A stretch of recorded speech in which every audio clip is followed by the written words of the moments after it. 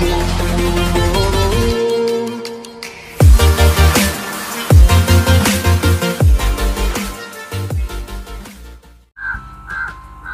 दोस्तों, मैं अजीम अंसारी बाराबंकी उत्तर प्रदेश से। K G N biofloc fish farming के इस यूट्यूब चैनल में आपका स्वागत है। दोस्तों, काफ़ी दिनों से मैं अपने वीडियो नहीं अपलोड कर पा रहा हूँ और अपने फार्म का कोई अपडेट नहीं दे पा रहा हूँ आप लोगों को। क्योंकि आप लोगों को पता है कि मेरी मछलियों में जहर डाल दिया गया था, जिसकी वजह से मेरी लगभग पाँच हज़ार में से बयालीस सौ मछलियाँ मर गई थी। टोटल बची होंगी लगभग साढ़े सात सौ से आठ सौ पीस, जिन्हें लॉकडाउन होने के बाद मैंने काउंट किया था। सारी मछलियाँ मेरी इस टैंक में पड़ी हुई थी फ्रेश वाटर में। उसमें फ्लॉक भी नहीं था। तो चूँकि लॉकडाउन था काम बिल्कुल था ही नहीं, मैं फ्री था। तो मैंने दोनों टैंक खाली किए और सारी मछलियाँ अपने छोटे वाले टैंक में शिफ्ट कर दी थी। शिफ्ट करने के बाद इन दोनों टैंकों की सफ़ाई की थी मैंने, चूना और ब्लीचिंग पाउडर से। खूब अच्छे से रगड़ रगड़ कर इनको साफ़ किया। साफ़ करने के बाद विम साबुन जो होता है बर्तन धुलने वाला इससे इनकी धुलाई की गई। धुलाई करने के बाद एक दिन पड़े रहे सूखने के लिए। उसके बाद मैंने इनमें फिर से पानी भरा। पानी भरने के बाद ये वाले टैंक में मैंने फ्लॉग बनाया है। और इसके बाजू वाला जो टैंक है, ये दो नंबर टैंक, इसमें फ्रेश वाटर है। क्योंकि मछलियों में मुझे ग्रेडिंग भी करना था तो जो छोटी मछलियाँ थी उनको मैंने फ्लॉक में डाल दिया है। इसमें लगभग साढ़े छः सौ मछलियाँ हैं, जो छोटे साइज़ की थी और जो बड़े साइज़ की थी, वो मैंने इस टैंक में डाली थी, लगभग डेढ़ सौ मछली इसमें फुल पानी भी नहीं भरता हूँ मैं और फ्रेश वाटर है, इसमें कोई फ्लॉक वगैरह नहीं बना है, सिर्फ़ ऑक्सीजन बिल्कुल स्लो पे चल रहा है। फ्रेश वाटर है, दस बारह पंद्रह दिन के बाद मैं पानी चेंज कर देता हूँ। आधा टैंक पानी भरता हूँ। और इसमें मुझे मछलियों का ग्रोथ अच्छा नज़र आ रहा है। क्योंकि मछलियाँ इसमें कम हैं तो अमोनिया भी नहीं बनता है। पानी के पैरामीटर ठीक रहते हैं। और डेंसिटी कम होने की वजह से मछलियों का ग्रोथ बहुत अच्छा आ रहा है। अब आप अंदाज़ा इस बात से लगा सकते हैं कि मैंने जब इसमें मछलियाँ डाली थी तो कुछ का वज़न 100 ग्राम, डेढ़ सौ ग्राम था। मैक्सिमम वज़न मछलियों का डेढ़ सौ ग्राम था। कुछ सौ ग्राम की थी, कुछ डेढ़ सौ ग्राम की थी। अभी परसों मैंने दो मछलियाँ पकड़ी थी। चेक करने के लिए तो उसमें एक मछली का वेट था लगभग 300 ग्राम और एक मछली का वेट था 270 ग्राम। तो उस हिसाब से काफ़ी अच्छा ग्रोथ हुआ है। तेईस चौबीस दिनों में अपना वेट डबल कर लिया इन्होंने तो काफ़ी अच्छा ग्रोथ है। समझ में ये बात आ रही है कि डेंसिटी कम होने की वजह से ग्रोथ इनका अच्छा आ रहा है। अब मैं आपको अपने फ्लॉक वाले टैंक के वाटर पैरामीटर चेक करके दिखाऊँगा कि मेरे टैंक में अमोनिया वगैरह सब कुछ कैसा चल रहा है। चूँकि इस बीस हज़ार लीटर के टैंक में मैंने सिर्फ़ साढ़े छः सौ मछलियाँ डाली हैं और इनको मैं तीन से चार टाइम फीडिंग करा रहा हूँ फिर भी मेरे टैंक में अमोनिया बिल्कुल कंट्रोल में है। और आपकी जानकारी के लिए बता दूँ कि इसमें मैंने सात से आठ दिन पहले मोलेसिस डाला था। वो भी लगभग चार से पाँच सौ ग्राम। तब से मैंने इसमें मोलासेस ऐड नहीं किया है। और ये फ्लॉक मैंने बनाया था सिर्फ़ पचास ग्राम प्रोबायोटिक से। पचास ग्राम प्रोबायोटिक एक एक किलो, एक लीटर मोलासेस और इसमें सी ओ सी ए सी ओ थ्री मैंने डाला था पाँच सौ ग्राम। नमक भी इसमें ऐड किया है, लगभग दस किलो पड़ा होगा। बाकी सब कुछ बेहतरीन चल रहा है। मेरे हिसाब से इसमें नाइट्रीफाइंग बैक्टीरिया एक्टिवेट हो गए हैं, जिनकी वजह से अमोनिया कंट्रोल रहता है। अभी मैं आपको लाइव चेक करके दिखाऊँगा मेरे पानी के पैरामीटर्स कैसे हैं, आप खुद देख पाएँगे। और मैं फ्लॉक डेंसिटी भी आपको दिखाऊँगा। चलिए माफ़ कौन में मैं पानी निकाल लेता हूँ इसका। ये मेरा माफ़ कौन है?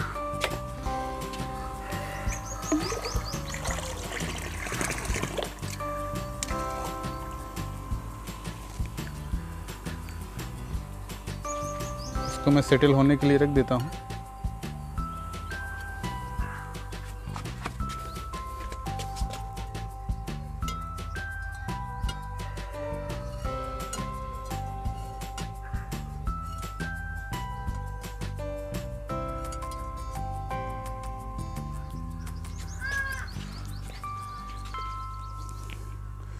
तक हम दूसरे काम करते हैं, तब तक ये फ्लॉक नीचे सेटल हो जाएगा, फिर मैं आपको फ्लॉक की डेंसिटी भी दिखा दूँगा और पानी की क्वालिटी भी दिखा दूँगा। तब तक चलिए अमोनिया नाइट्रेट नाइट्रेट वगैरह चेक कर लेते हैं। दोस्तों, जब भी आप पानी के पैरामीटर चेक करें तो एक बात ध्यान रखिए कि किसी पॉट या जग में पहले पानी निकाल लें इस तरह से। ये देखिए। ये मैंने टैंक से पानी निकाला इसको यहाँ पे रख देते हैं। एक मिनट वेट करिए, इसका फ्लॉक नीचे सेटल हो जाए। उसके बाद आपको एक्यूरेट रिज़ल्ट मिलेगा। डायरेक्ट टैंक से पानी निकाल के कभी भी रिज़ल्ट ना चेक करें। कभी भी आपको डीओ चेक करना हो अमोनिया नाइट्रेट नाइट्राइट पीएच वगैरह। पीएच तो चेक कर सकते हैं, लेकिन अमोनिया वगैरह बस सिर्फ़ एक मिनट या उससे भी कम थोड़ा सा। जैसे ही पानी आप निकालेंगे पॉट में तो देखेंगे फ्लॉग नीचे सेटल होने लगता है। तो उसके बाद इसी में से आप ट्यूब्स रखी हुई, इसमें भर लीजिए पानी। उसके बाद टेस्ट करिए। अभी मैं आपको दिखाता हूँ। कैमरा मैं बंद नहीं करूँगा, वरना लोग अक्सर कहते हैं कि पानी चेंज कर दिया है, पता नहीं क्या क्या कमेंट बॉक्स में बोलते रहते हैं। तो दोस्तों, ऐसा कुछ नहीं है। आपको बेवकूफ़ बना के मुझे कुछ मिल नहीं जाएगा। जो रियल होता है वही मैं आपको बताता हूँ। धोखा देना किसी को अच्छी बात नहीं। जो चीज़ है बिल्कुल साफ़ क्लियर है। चलिए देखते हैं। ये मैंने एक ट्यूब लिया है।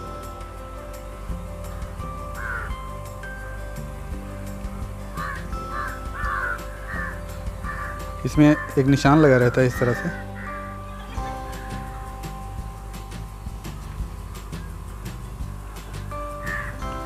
फाइव एम का, वहाँ तक पानी को भरना रहता है।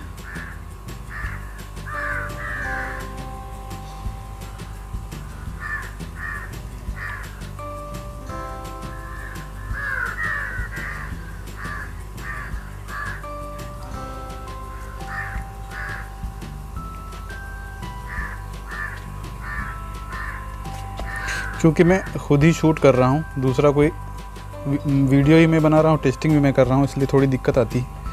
मैनेज कर लीजिएगा। ये तीन ट्यूब्स में मैंने फाइव फाइव एमएल भर दिया है। अमोनिया चेक करने के लिए मैं इसको बिल्कुल कम भरूँगा, क्योंकि अमोनिया हमको बार बार चेक करना रहता है। तो आधी से कम में भी काम चला लेते हैं, ताकि किट हमारी ज़्यादा दिन तक चले। रिज़ल्ट सेम आता है, उससे कोई दिक्कत नहीं।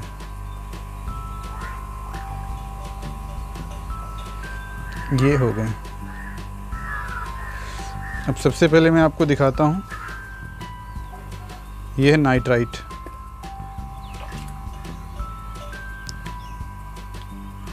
नाइट्राइट के बोतल पे आप देख सकते हैं, लिखा हुआ है, पाँच ड्रॉप इसमें से डालनी। एक, दो, तीन, चार, पाँच। पाँच ड्रॉप हमने इसमें डाल दी।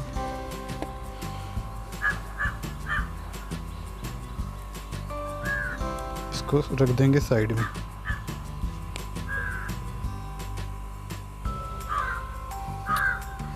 उसके बाद आता है नाइट्रेट।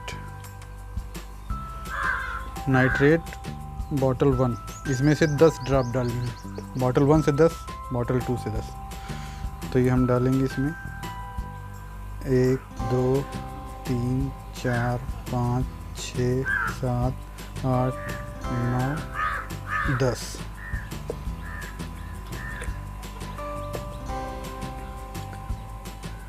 ये बॉटल टू है। इसमें फिर दस डालेंगे एक, दो, तीन, चार, पाँच छ सात, आठ, नौ, दस।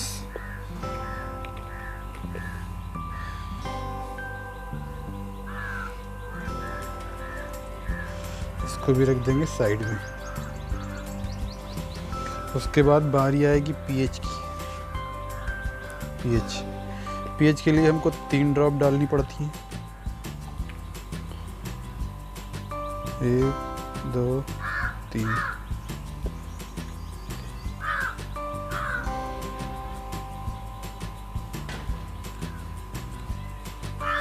इसको भी साइड में रख देंगे।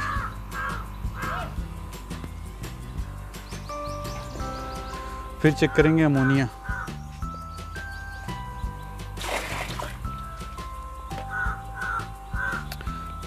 Ammonia bottle one.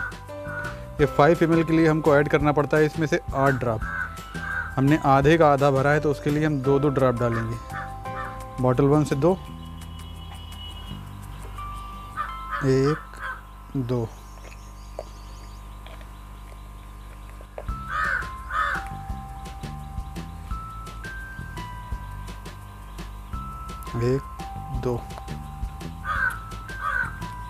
अमोनिया का रिज़ल्ट आने में लगभग चार से पाँच मिनट लगते हैं। ये भी मैं साइड में रख देता हूँ। अब वीडियो लगभग चलती रहेगी। वीडियो मैं कट नहीं करूँगा। तब तक आपसे कुछ बातें करेंगे। फोकस हमारा इन्हीं पे रहेगा। ताकि बाद में कोई ये कमेंट करके ना बोले कि भाई पानी बदल दिया और रिज़ल्ट दिखा दिया तो जहाँ तक मेरा तजुर्बा हुआ है और मैंने अब तक जो सीखा है, उसके हिसाब से अगर मैं आप लोगों को बताऊँ तो बायोफ्लॉक अगर आप लोग करिए, ठीक है अच्छा है, लेकिन हाई डेंसिटी मत करिए। बहुत ज़्यादा मछलियाँ मत डालिए इसमें। शुरुआत अगर आपको करना है ट्रेनिंग आप लेंगे कहीं से तो आपको बताएँगे कि दस हज़ार लीटर से आप दस कुंटल प्रोडक्शन ले सकते हैं। एक एक हज़ार मछली डालिए, उनको एक किलो की कर लीजिए। इम्पॉसिबल है, ऐसा नहीं हो पाएगा। ऐसा हो ही नहीं सकता है। मैक्सिमम दस हज़ार लीटर के टैंक से आप स्टार्टिंग में तीन से चार कुंटल तक प्रोडक्शन ले पाएँगे। उसके बाद जब आप सीख जाएँ, कायदे से आपको हर चीज़ की जानकारी हो जाए, आप एक्सपर्ट हो जाएँ तो उसके हिसाब से आप बढ़ाइए, लेकिन स्टार्टिंग में एकदम से मत डाल दीजिए, वरना आपको नुकसान हो जाएगा। यही गलती मुझे लगता है मैंने भी की थी, क्योंकि मेरा टोटल वाटर कल्चर था लगभग तैंतालीस हज़ार लीटर का। बीस बीस हज़ार लीटर के मेरे ये वाले टैंक हैं, एक ये वाला टैंक और एक इसके बगल वाला। चालीस हज़ार लीटर के ये हो गए, और मेरा जो छोटा वाला टैंक है, इसको हॉस्पिटल टैंक बोलता हूँ, वो मेरा तीन हज़ार लीटर का है, तीन हज़ार से पैंतीस सौ लीटर। तो लगभग तैंतालीस हज़ार लीटर का मेरा कल्चर है, और उसके लिए मछलियाँ मैंने मंगवाई थी पाँच हज़ार दो सौ। पाँच हज़ार मुझे लेना था, दो सौ मैंने एक्स्ट्रा ले ली थी कि मोर्टेलिटी होगी अगर कुछ। तो दो सौ मछलियाँ अगर मर भी जाएँगी तो मेरी पाँच हज़ार बच जाएँगी। लेकिन अब मुझे समझ में आ रहा है कि मैंने ज़्यादा मछलियाँ ली थी। स्टार्टिंग में मुझे इनमें सिर्फ़ एक एक हज़ार मछली अगर मैं डालता तो सब कुछ अच्छा चलता। मगर चूँकि मेरी मछलियाँ कुदरती तौर पर नहीं मरी थी, ना बीमार होकर मरी थी, उनमें जहर डाल दिया गया था, इस वजह से मरी थी, वरना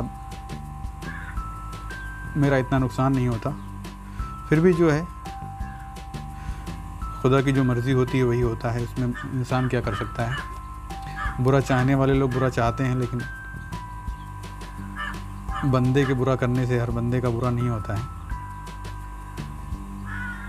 लोग समझते हैं कि किसी का बुरा करके बहुत बड़ा नुकसान कर देंगे। पर ऐसा नहीं है दोस्तों। अल्लाह ताला सब कुछ देखता है। वो उससे अच्छा बदला उसको अता कर देता है और लोग समझ भी नहीं पाते हैं। तो चलिए बातें बहुत सारी हो गई और मुझे लगता है टाइम भी हो गया है, तीन चार मिनट हो गए होंगे। और कैमरा मैंने ऑफ़ नहीं किया है, ना ही पॉज किया है इसको। और रिज़ल्ट आप देख सकते हैं। अब मैं आपको इसको कलर चार्ट से मैच करके दिखाऊँगा कि कौन कौन सा क्या है।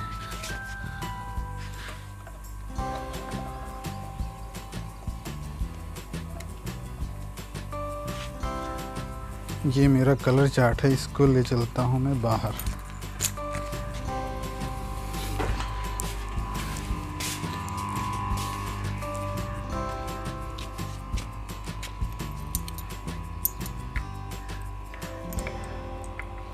ये दोस्तों मेरा छोटा वाला टैंक है जो अभी बंद पड़ा हुआ।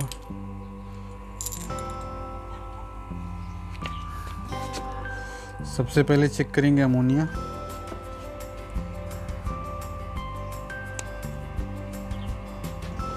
धूप होने की वजह से काफ़ी रिज़ल्ट समझ में नहीं आ रहा है दोस्तों क्योंकि मैं खुद ही शूट कर रहा हूँ।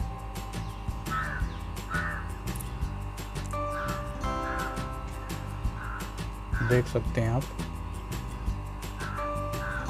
0.25 और 0 0 से 0.25 के बीच में ये आ रहा है।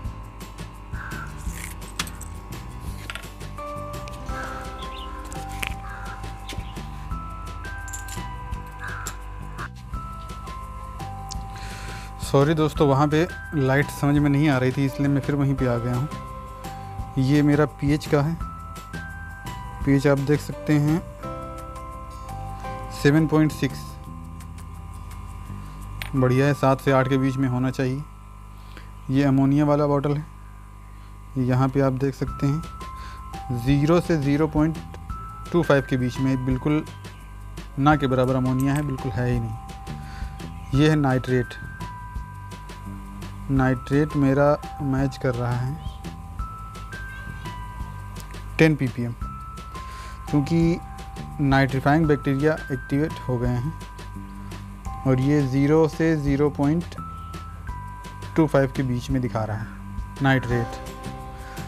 क्योंकि नाइट्राइ नाइट्रीफाइंग बैक्टीरिया में अमोनिया को नाइट्रा, नाइट्राइट में चेंज करते हैं, फिर नाइट्राइट से नाइट्रेट में चेंज होता है, उसके बाद उसको ख़त्म कर देते हैं। तो यही था दोस्तों, ये मेरी मास्टर टेस्ट किट है, मैंने पूरी मंगवाई थी शुरू में। अभी तक चल रही है। तो दोस्तों, आज के वीडियो में बस यही अपडेट देना था।